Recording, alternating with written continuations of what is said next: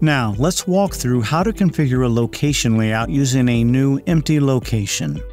After a location has been created, navigate to the layout view for that location.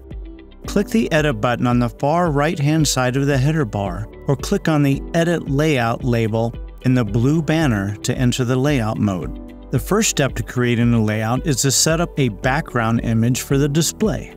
In the Edit mode, select the Tools menu and select Add Background Image from the list. This will open the Add Background Image dialog where you can add new images to the application or select from a list of existing images. Once an image has been selected, it will appear as the background image for the location layout. The next step is to add a grid onto the background image.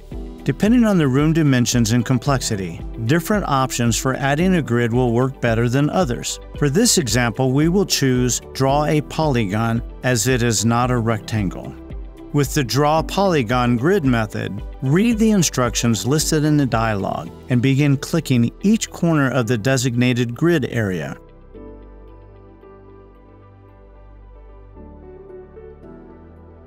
Upon clicking the Complete button, the user will be asked to enter the length of the highlighted line.